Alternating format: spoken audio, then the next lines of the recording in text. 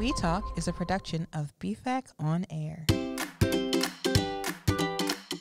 Welcome back, everyone, to We Talk. Oh, we talk. Where Dominic and Jenna, well, we talk. we talk. We haven't talked in a while. It's been a little while. I mean, we been a- talk all the time. We talk a lot. but we haven't. Sometimes we should just like walk into a studio, Yeah. press the record button, and just, stare talk. at each other. Oh, just stare at each I was like, other, yes. just look at each other. Just look. Was that interesting, audience? Was that good? no, just talk. I always like, forget what just the like a are. topic, and then just talk. I think nothing we- else. I think that's what we said we were going to do at the beginning, then we didn't. Yeah. Yeah. Why didn't we do that? I don't know. I don't either. Life, times, things. All of them. Yep. Yeah. All right. Well, But today, today, we got to talk to somebody who's very exciting and oh, it lovely. was it was so interesting. Yes, we talked to Paul Reiser. Mm-hmm. You probably know Paul Reiser from uh, I, I I I don't know. What do you think the most known thing that audiences who might be listening would know Paul Reiser for? I think most people, if from earlier years, would know him from Mad About You. Yeah, Um, yeah, If you're a younger audience, you might know him from Stranger Things. that's true. So I think those kind of are probably the two big pulls. And uh, Beverly Hills Cop. Yeah. Yeah. Okay. I was going to say Mad About You was going to be my oh, guess. you were just Uh, going to say one thing? I was going to say one thing, but I really enjoy lot. your uh, plethora of options Thank for people you. to choose from with that. But I, th- yeah, I do think generationally perhaps different, and I think that is probably why Paul Reiser is so beloved between generations of human beings. Agreed. Yeah. Well, just- and animals, probably. Really, any mammal, I would think, probably likes Paul Reiser. Not where I thought you were going. Not mad at it. Just didn't think we were there. yeah, no. The thing I love about his work Mm-hmm. is that it it really has an emphasis on human like our shared journeys. If you look Yes. at things like Bye Bye Love, which we talk about a little bit in here, and you look at things like Mad About You, Yeah. uh, you look at these, even the the original Mad About You, and then the reboot The of Mad reboot. About, About You. You get these these journeys that we're on, and then you've got his his books, which we we didn't get a ton of. We talked about his new book, which Yeah. comes out this uh, the middle of this year.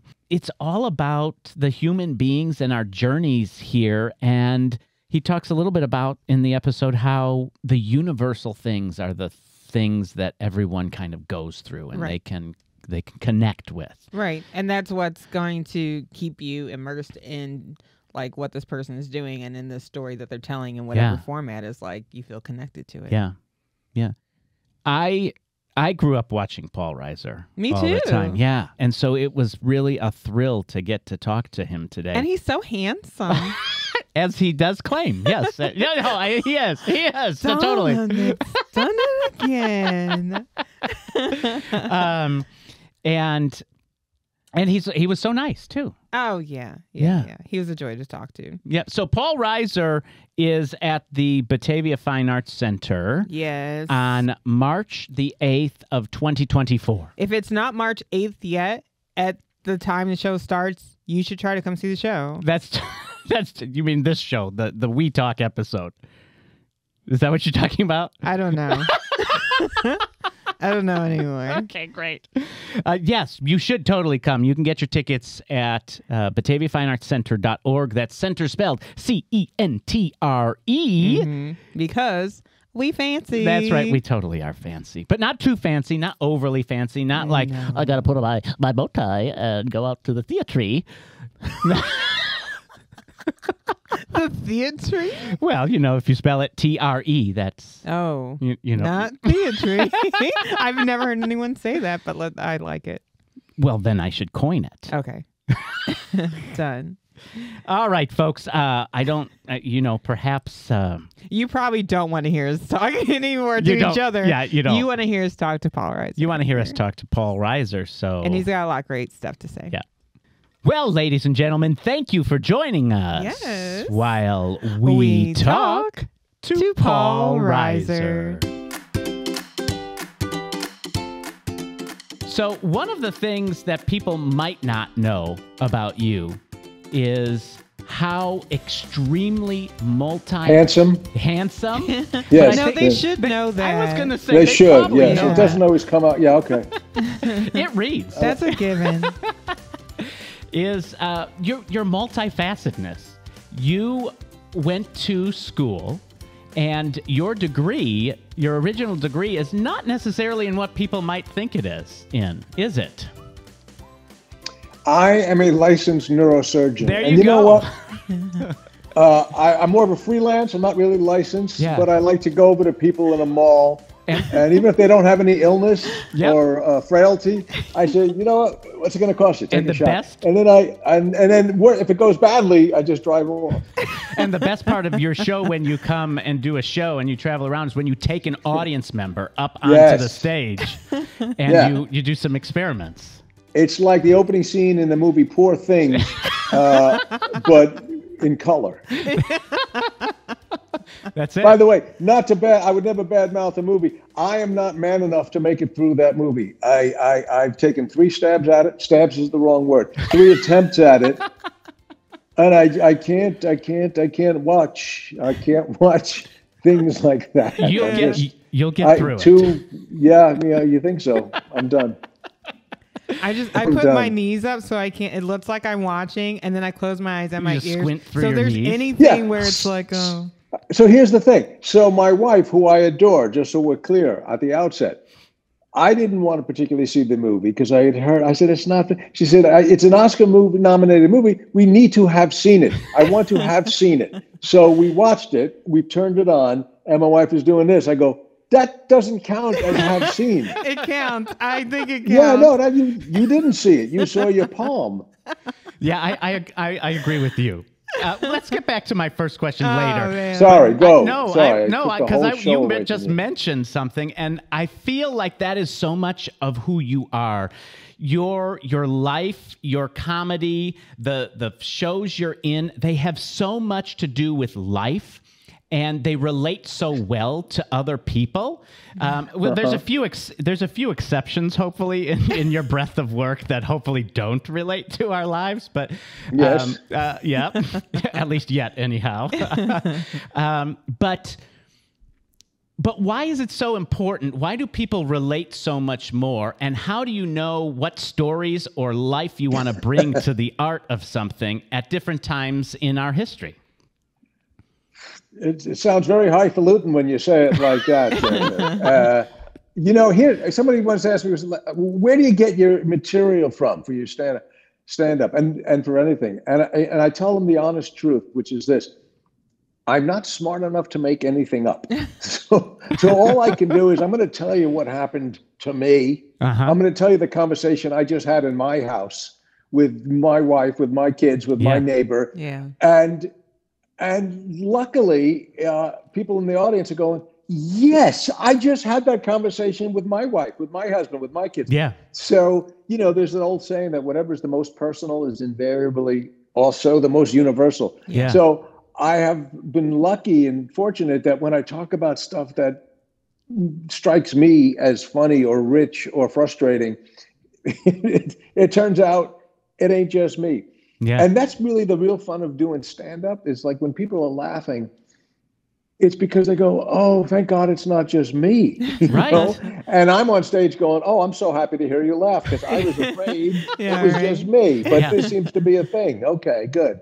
Yeah, because the truth is funny. Now, Yes. I went back, I wanted to go back as far as I possibly could and look for the first stand up thing I could find. And I went back and I found your Johnny Carson 1982 Yeah. um, a stand up. And in it, you said, health is not as important as material goods. And Yeah. yeah. Uh, and I remember the joke. yeah, and I find it very interesting because By the way, it's yeah, not, not funny when you say it. People are going, Boy, this guy don't sound funny. They're Why would I buy a like, ticket? I just "Oh." heard his joke. It's you know it's a good not- thing people don't pay to come see me. That's the important if thing to take away. that's an take example away. of Reiser's material, I think I'm going to sell these tickets Yeah. right back. Didn't quite land the No, same no, way. that- huh? No, dude, you didn't set it up in any way, but go ahead with your point. Um, so I, and then I've seen some of your recent stand up that you're doing as well, and I feel there's some evolution to your material as well. So, can you talk about how you've evolved as a comedian, as an artist, from back in 1982 to today? What what's different and what's what's the same? Well, I'm significantly older, so. Uh, But as you know, we've funny. as we've once said, in a while, as once in a attractive while, though. Yes, still hanging in there. I've seen that clip of it, my first Tonight Show, which was, you know, hugely significant. That was when you do your first Tonight Show with Johnny Carson Yeah. back in the day. There, I, I'm aware that many people under 30 might not know Johnny Carson's name, but at the time he was the gold standard, and Yeah. you weren't Oh, a comedian uh, in earnest until you have that, you know, accomplishment. And people would say, "What do you do?" "Oh, I'm a comedian." "You've been on the Tonight Show?"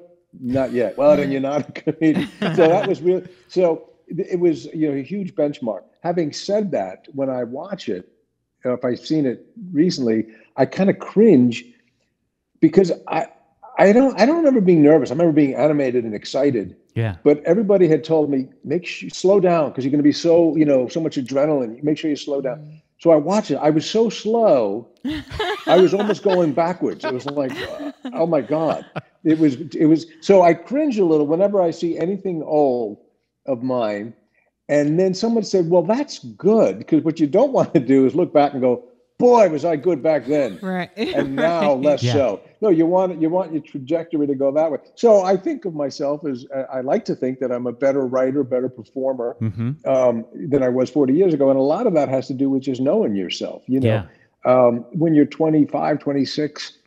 In my case, I don't know that I had that much to say. You know, Sure. you can talk about your parents. You can talk about, gee, you ever noticed this difference between L.A. and New York? Gee, Mhm. you know, it's just not. Uh, Yeah. You're not as evolved at 25 Yeah. when you've lived life and you've been in a relationship or two and you've had children and you've you've seen life, you know yourself better, you know the world better. Um, so uh, I, I, I like to think that reflects in my comedy. And as I say, you know, and also what happens at this point, having been on TV and doing, you know, Mad About You was a big hit. We were in people's homes and Yeah. people's living rooms uh, for for many years. So there's an intimacy. So when I go out, and I didn't anticipate this, but when I went back on, I hadn't been out doing comedy for a long time. I really, from like 92 to like 2010, 11, Yeah. I just hadn't gone out. And when I did go out, I was really uh, warmed and, and heartened to see there was a relationship. And the people, you know, when you walk out, they go, "Oh, we know this guy." Yeah. You, you're our And friend. I'm- And yeah, and I'm looking at them like, "Well, I know you guys. You bought a ticket. You must. We already must have something in common." Yeah. So it was uh, there, and it does. It, I got to say, it, going on stage feels like getting together with old friends, you know, and it's Yeah. it's a great feeling. Was it hard to get back out there after such a long time not being uh, in the stand-up realm? Yeah, yeah. You know, in, in many ways, it was familiar, Mm-hmm. good and bad. You know, uh, um, somebody said, "Is it like riding a bike?" I said, "No, it's like pushing a bike up a hill with your eye. It, like it doesn't, it doesn't, it's not uh, comfortable right away." Yeah. And uh, it's so, you know what I liken it to? It, it's, you know, now, by the way, if I take off a month hmm or two weeks, I feel like, whoa, I got to get the cobwebs off. So 20 years, I really was mad about you, and then mad about you was over, and had kids, and I was happy to just be home and not out there. Mm. So when I went back into the comedy clubs, it, it, in my head, I knew how to do it, but the muscles are not there. It's like if you're if you play basketball with any kind of level of skill, and you don't play for a few years, you still know how to do it, but the muscles are not firing Yeah. uh, and you have to develop, redevelop those atrophied muscles. So it took a good year till I felt confident to go out and, and you know and do it for real. Yeah. Do you find the same thing true with music um, in terms of when after you maybe you stop for a while you go back and do it because now we're going to go back to my first point and that is you are quite a musician and how often do you get a chance to practice play perform as a musician as well I I play all the time. I play every day, you know, Oh. and and um, but you know, not with any particular goal. I Sure. can't say I'm sitting and practicing and it's getting better. Yeah. um, but I, I but in the same way that you know you hopefully grow as a comic. I think you know I I studied classical music in college and hmm I when I when I attack something new or approach something new now, I think I do it with a little bit more of an eye and appreciation Yeah. and, and a standard. It's like, okay, you know what? That might have been fine when you were 22, but that it should sound better now. Yeah. You, Right. you know, you know more. So you, so uh, I work a little harder, but it's always been really for my own enjoyment. I've never really played much uh, at all.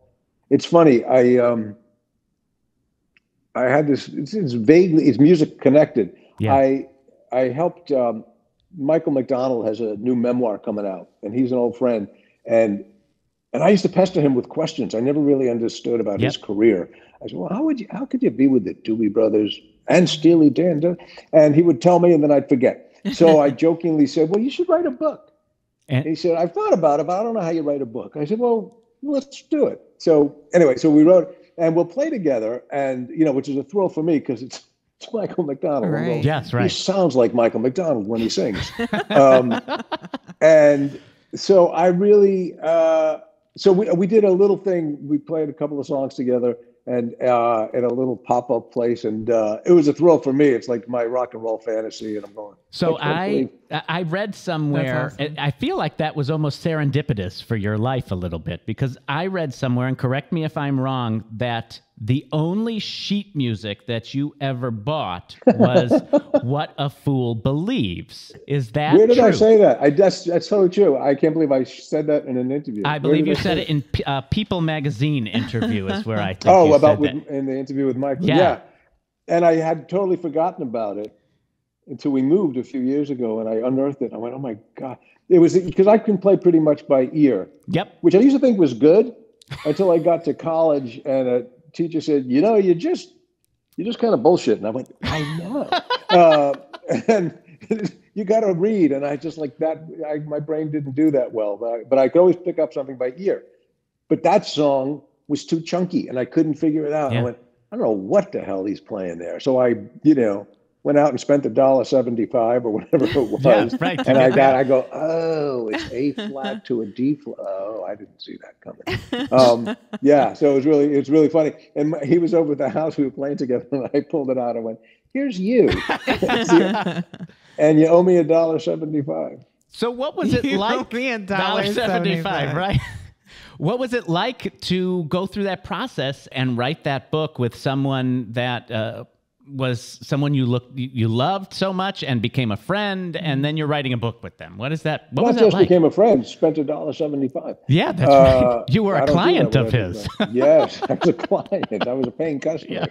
Um, it was uh, remarkably easy and um, and joyful and and and informative because I, when I said you should write a book, I, I meant it in a very selfish way because like I want to read it. I, I I'm such a fan and I never quite understood Yeah. Yeah. you know he's not he- he- he's sort of an anomaly there was there's not a lot of publicity he's one of these guys that's you know you t- if i tell anybody i worked on this book they're oh we love mike mcdonald but do you know anything about him not really not Yeah. really and so i go so um it was easy because we had no we just did it you know it was all on spec and we didn't know Right. if it was going to even be anything and Sure. it was right at the start of uh covid it was march 2020 and just the timing of it was such that I said, we both just discovered Zoom and we both have no jobs. So we got time. We have our afternoons free. So for about a month or so, we would just like an hour a day, we'd do this. We'd be on Zoom and I'd ask him a question all over the place. And he would tell a story and then I would, you know, gen- it wasn't wasn't work. I was genuinely interested in like, mm-hmm. go back. What, what he said, what do you mean? Ray Charles said what to you? It's like, okay, that's going in the book. And I didn't have to write anything because it was all being recorded. Yeah. And then, you know, after about, you know, five or six weeks, we had, I don't know, 40, 45 hours of stuff. And I would just go through it and sort of put it, I, I just sort of put it in a rough uh, chronology. And then he would take it and he would write it and polish it up and then pass it to me. And I would edit it a little bit and say, what if we put this here? So it was really a great collaboration. And for me, it was interesting because it was the first time I'd ever worked on something that I wasn't really involved in. You Sure. know, it's like it's Yeah. it's his book, it's his story, and I was you know you don't have to put my name on it. I just want to read it. Yeah. Um, yeah. and uh, so it was it was that, that was it was a great lesson also in that type of collaboration he's a you know, he's he's worked with so many people. He's such a great collaborator Yeah. that it was really easy and friendly. He trusted me, and I had, you know, I had no skin in the game. It was just, let's just do this and see if we like it. And Yeah. luckily, it came out well. That's You cool. you were you said you went into that with no ex, uh, no expectations, right? I, I I think I read that somewhere too, and you kind of alluded to that just now. Yeah. How and why is it important, or when you go into an art form or you go into creating something, to temper your expectations in some way? Well, how how does that help you guide what you do? You know, the show is not called Curb Your Enthusiasm for nothing. Uh, there, there was a lot of a lot of curbing and expectation lowering that is part of the game. Yeah. Um, you know, I, I think we all we all do what we do in in you know in in TV and music. We do what we do because we didn't really have a choice, and that's just what came naturally. I, you know, I didn't become a comedian when I started. That was my goal. I said, well, I want to be a comedian. I want to be on the Tonight Show. I didn't Yeah. think about acting. I certainly didn't think about writing a book with Michael McDonald. Um, and you know, it's because it's the worst game plan in the world. I'm going to throw every option away and just go to a club and uh, see if in ten years I make any money. That's not a good plan that any parents are happy to sign off on. Um, so we do it because we love it, and we're not ill-equipped to do anything else. So Yeah. any kind of success is um, is sort of gravy. It's like Sure. Mm. you know we would have done it anyway. Yeah. Um, and, and in this, like with the book, it's like, well, this is, it, it really was a fortuitous moment. It's like we have a lot of time, and he was interested in doing it. I was interested in hearing it, and I said, well, let me let me see if I can help you pull this story out. And and he also had no expectations, and I think he was he's been very pleasantly surprised that, you know, at a certain at our age, he's a few years older than me, but you know, you get to look back at your life and Yeah. When you do something like write a memoir, it come it puts your it just gives you a perspective and you see sort of threads that you might not have known were there. Yeah. Mm-hmm. Yeah. And and you are like the perfect person to write that with him with both your musical background and your storytelling abilities. I just think I think Well, you- it, it worked out well. It, Yeah. was, it was an easy collaboration, and as I say, you know, it was I, I was very clear this was his thing, and I'm just there to help him as a friend. But it, it really was fruitful for me, as I say, because I, I just learned a lot about that particular type of collaborating, and, and uh, you know, sometimes I would write something, and he would just I could see him hesitate. I go, you know what, that sounds like me. That doesn't sound like Uh-huh. you. Take, take that out. Yeah. It's like it's got to sound like you. that's fantastic. Now you had mentioned that you know writing the book with him um, really just was like a joyful experience, um, and you also kind of talked about music in that way. And I was curious of like writing a book, writing and doing stand up, music and acting. Are there any of those like what brings you the most joy? Mm. You know, they all bring me joy because there's no real reason to do it otherwise. Mhm. Um, and I've been lucky that I never really had to pick. I, I think on a day to day basis, there's nothing as much fun for me as doing stand up, Yeah. you know. And, and George Carlin used to say, I perform for free. You just got to pay me to go through the airports. That's like, that, like, that's never fun. Yeah. You know, the traveling in the hotels is not fun.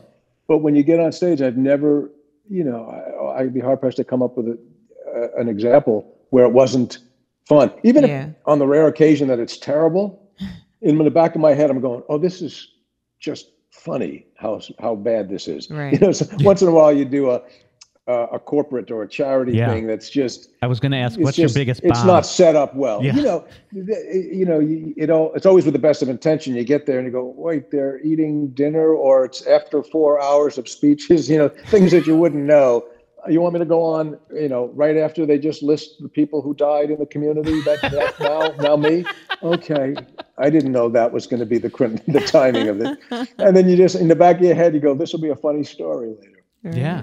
I love that. And I think it's funny too because, you know, earlier you said something like, oh, well, you know, we're really ill equipped to do other things. But then you think about it, it's like you're writing, you're doing stand up, you're Yeah. doing music, you're acting. There's so many Prolific things. in everything. Right. Yeah. And it just, and to be able to do that is like such a blessing and it's so cool. So I love Yes, it. but I, I can't hang a picture without damaging a wall. Well, so you know, We're I mean, all skill. talented in different ways. Yes, and luckily there are people who do that.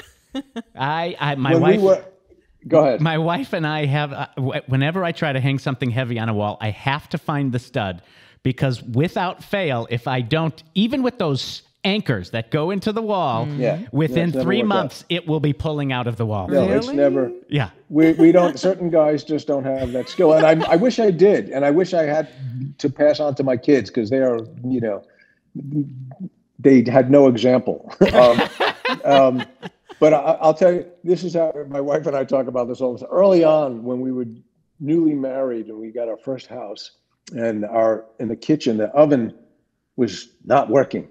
Mhm. And we called the guy. That's our solution. Call the guy. What call the guy? There's always a guy. and I wasn't home. And this is early in my career. Right? And the guy comes over and uh, fixes it in two seconds. He said, Can I ask you, is your husband an actor? And she said, Yes. Why? How did you know that? He said, Because you're paying me $50 to light the pilot light. so, oh, okay. So that's how easy it was. Your, your husband must be an idiot actor. yes, in fact, he is. Wow. Uh, that is true. Um, all right. Now let's play a game we're going to call Paul Said What? These are going to be lines from things you've done. Okay. And let's see if you can remember the movie or TV show they are from. I'll keep score. And you'll keep score. Paul, You'll keep score. I will tell you you, so once in a while, somebody will come over and do a line that I don't know is a line. Yeah. Uh, you know, uh, go ahead. Maybe this may be one of them. Go ahead. Uh, well, I was going to say, and Let's if you want to share anything about else about the experience, go right ahead and and you can t- t- share anything you want. So this one, there's going to be two lines from this one. Okay, there's two lines from this one, and one of them is you couldn't look fat if you wanted to, and the other line is we never talk about that if you're happy or if I'm happy.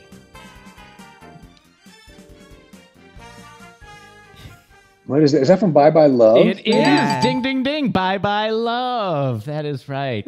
I used to love Yeah. that movie. Oh, yeah. Oh yeah. and then You and then you stopped loving No. I didn't. Yeah, what happened, Dominic? Nothing happened. No, no, you know, I, I find a lot of people people come over to me often and and who love that movie because their parents were divorced, and somehow that really spoke to that dynamic of you know of, Yeah. of divorce as being rough. But I- I'll tell you the line, and I this probably. By the way, did you go and find these lines, or are these off the top of your head? How did, did I've got them all up with this memorized. I am such a Paul Reiser fan. No, I, I went and Wow. uh, found all these. lines. Okay, because I'll tell you the one line that I get most frequently. There's it was in Beverly Hills Cop One, where I when in the locker room and I go, "Hey, this is not my locker," and I walk off. The which was an improvised line because I didn't know how to get out of that scene. I was talking to Eddie. Then the, the captain comes in, and I had to not stand there like an idiot for four pages. So I went, "How do I get?" I said, "Hey, this is not my locker." And literally, I'm clearing the frame. You don't even see the back of my head. So it was a throwaway. And that's 40 years ago. People, for years, people come over, Still. and I didn't know what it was at first. People would come over and they would do a variation. I'd be in an airport and someone would go, Hey, that's not my suitcase. Go, Oh, yeah. No, it's my suit. no, you get it? I go, No, I don't know what the hell you're talking about. You know that So should be now a I it. TikTok right now. Like just people saying that's not my and fill in the blank. Yeah. Uh, we need Yeah, to but bring that back. now I, I have a clue where they're going. with it. And it's very sweet if I knew what they were talking about. all right, let's go back in time. Yeah, too. give me another one. Here's I'm the so other far one. batting a thousand. You know what your problem is? You don't chew your food. That's why you get so irritable. It's lumps. you you have like roast beef in your heart. It Yeah. just stays there. That can only be. That is from Diner. Yes. That was my. That was my first job. That Yeah. was, and that was all. All those diner scenes were improvised. I was going to Was he- ask. That was going to be my follow up because there is such genuine react when when Yeah. that camera is on Yeah. uh, the two of you. There is such genuine reaction. Is it Kevin Bacon next to you? Kevin Bacon and Yeah. uh, that. Well, I'm talking to Steve Guttenberg. Yes, that's in my across from you. Yeah, And th- but, but uh, you know those those scenes we shot I think five or six weeks, Uh-huh. and Barry Levinson, who that was his first movie, but he was pretty darn brilliant.